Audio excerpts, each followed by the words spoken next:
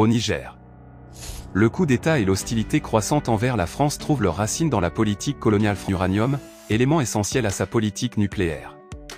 Depuis le coup d'État militaire du 26 juillet, le Niger est en ébullition, et les manifestations hostiles à la présence française se multiplient. Les raisons de cette explosion de colère sont multiples, l'enlisement de l'opération Barkhane, la montée du terrorisme, et la corruption endémique du régime, pour n'en nommer que quelques-unes. Cependant, il est crucial de comprendre que la situation actuelle n'est que la partie visible d'un iceberg, révélant des changements profonds dans les relations complexes entre la France et le Niger. Malgré les déclarations de la ministre des Affaires étrangères, Catherine Colonna, il est indéniable que la France-Afrique n'est pas morte. Elle continue de peser lourdement sur le pays, alimentant un profond ressentiment anti-français, tout en étant exploité par d'autres puissances étrangères telles que la Russie et la Chine. Avant de plonger plus en profondeur, assurez-vous de vous abonner et d'activer la cloche de notification pour ne rien manquer de nos futures vidéos.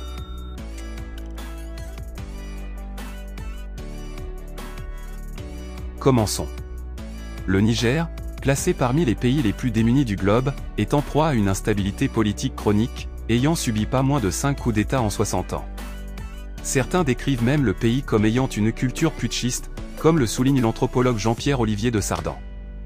Le Niger a également été frappé par de nombreuses famines, dont les causes ne sont pas exclusivement naturelles, mais liées aux politiques néolibérales imposées par le Fonds monétaire international.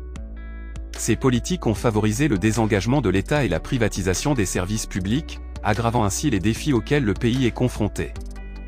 Au cœur de ces enjeux réside la richesse du sous-sol nigérien. En tant que troisième producteur mondial d'uranium, le Niger a longtemps été le partenaire privilégié et exclusif de la France. Plus de 130 000 tonnes d'uranium ont été extraites grâce aux filiales d'Orano, Somaïr et Cominac. Pour mettre cela en perspective, cette quantité est deux fois supérieure à ce que l'industrie nucléaire a puisé dans les mines françaises au cours des 50 dernières années. Cela révèle comment le contrôle de l'uranium, aux côtés du pétrole et d'autres ressources, a été l'une des principales. Cette protection n'a pas toujours été garantie. En 1974, Hamani Diori, alors président du Niger, a été renversé par un coup d'État, soutenu par Paris, après avoir réclamé une augmentation du prix de vente de l'uranium. Trente ans plus tard, le président Mamadou Tandja a commis la même erreur. Après avoir obtenu une augmentation substantielle du prix de l'uranium en 2008 et avoir permis au Niger de vendre sa ressource à d'autres clients que la France, il a été destitué en 2010 par les militaires. Mahamadou Issoufou, un ingénieur des mines formé en France et ancien employé d'Areva, est arrivé au pouvoir à peine un an plus tard. L'exploitation de l'uranium a alimenté une corruption généralisée, comme l'a observé l'historienne Gabrielle Echte dans son ouvrage L'uranium africain, édition. Seuil, 2016. Pendant des décennies, les revenus tirés de l'uranium ont principalement servi à la construction de bâtiments luxueux à Niamey et à l'enrichissement personnel des membres du gouvernement. Pourtant, malgré la contribution significative du Niger au développement de la puissance nucléaire française, l'injustice persiste. Alors que 15% de l'uranium nécessaire aux centrales françaises provient encore du Niger, 85% de la population nigérienne n'a toujours pas accès à l'électricité. Selon Raphaël Granvaux, seulement 12% de la valeur de l'uranium exporté revient à l'État nigérien. Pour Gabriel Echt, cette inégalité perpétue le privilège colonial. En 2013, dans un rapport sur les politiques extractivistes, l'association Oxfam a révélé comment Orano, anciennement Areva, tirait parti de cette situation. L'uranium nigérien représentait près de 30% de la production du groupe français, mais le Niger ne percevait que 7% des paiements d'Areva aux pays producteurs.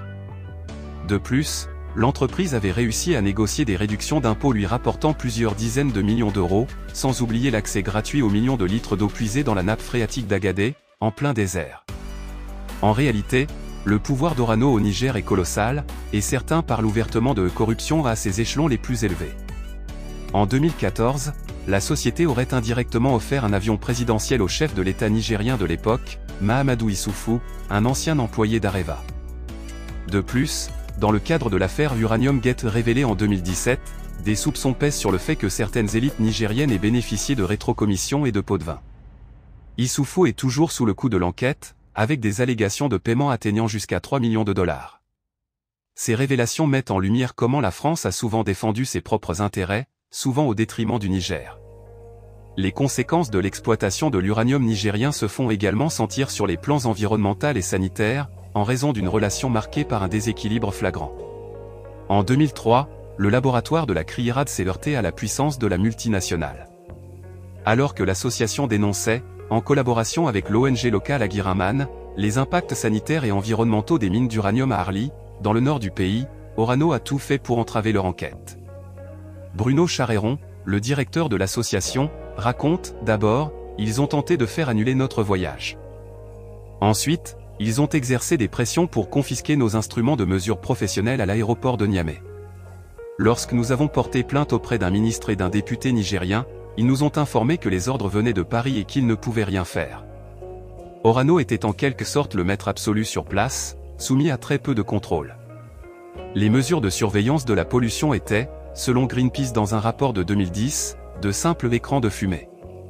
Le Centre national de radioprotection du Niger, l'organisme d'État chargé de réguler les risques radiologiques, n'a été créé qu'en 1998, et même une décennie plus tard, il ne disposait toujours pas d'instrument de mesure des taux de radon. Quand j'entends ces derniers temps que la France n'aurait pas besoin de l'uranium du Niger, je souris. C'est une insulte à la vérité et une négation de l'histoire, insiste Sedi Kaba. Le cordon ombilical entre l'ancienne puissance coloniale et ses colonies n'est toujours pas coupé. La politique extractiviste de la France explique en partie la présence décriée de militaires français dans le pays. En janvier 2013, lorsque des attaques djihadistes ont frappé le sud de l'Algérie, la France s'est empressée d'envoyer des commandos spéciaux pour protéger les mines du Niger. En mai de la même année, lorsque les filiales d'Orano ont été attaquées, la France a aussitôt dépêché des troupes pour neutraliser les terroristes. Les intérêts français ne sont pas cachés. L'uranium demeure une ressource stratégique, d'autant plus que le gouvernement de M. Macron prévoit la construction de nouvelles centrales nucléaires gourmandes en minerais.